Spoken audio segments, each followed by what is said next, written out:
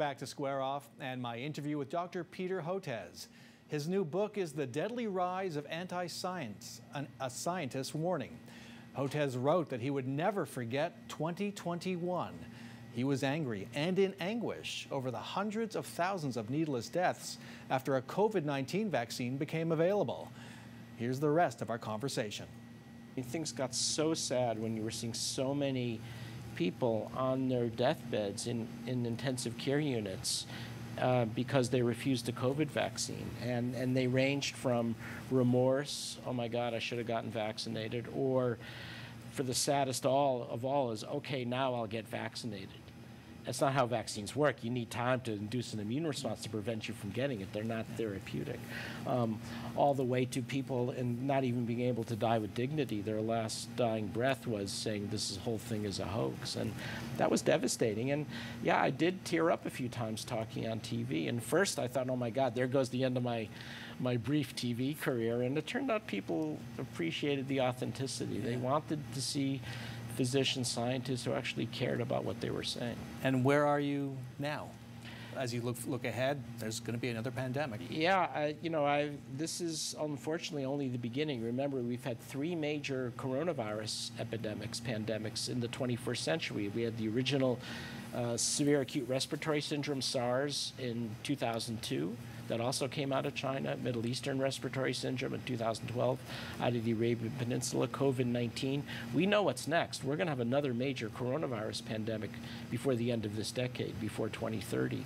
We're going to have zoonotic influenza um, uh, illness. We're going to have uh, arboviruses, mosquito transmitted viruses, because of that combination of climate change. We're seeing that now on, on the Gulf hmm. Coast. So, you know, put your tray tables in the upright position and your and your seats forward and your seatbelts on because this is unfortunately a new wave of pandemics is going to be upon us because of that combination of 21st century forces of climate change and urbanization and human migrations. And you say that basically it's up to scientists to take on this fight because nobody's coming to our rescue. Who should be coming to the rescue?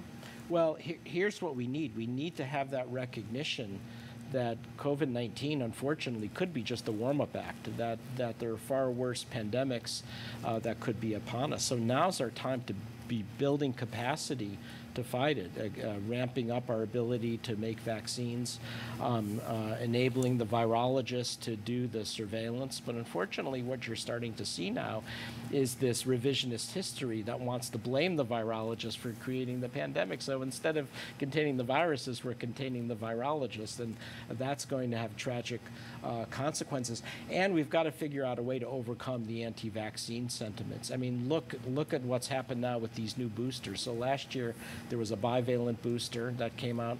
Fewer than 20% of Americans got that. Now, with this new annual immunization um, for the XBB variants that are currently circulating, that became available in September. I mean, I got it, and about six other Americans got it, but you know that's what we're looking at, really low numbers, so that when the next pandemic comes, what I'm worried about, it's going to be something like that. People are going to be holding back, and and that will also um, come back to bite us. Dr. Peter Hotez, thank you so much for the work you do. Thanks, Brahm, for giving this attention. I appreciate it. Dr. Hotez's visit to Arizona, including a presentation at ASU, was sponsored by the Integrity Project. The Arizona-based nonpartisan group combats the use of misinformation in the public square.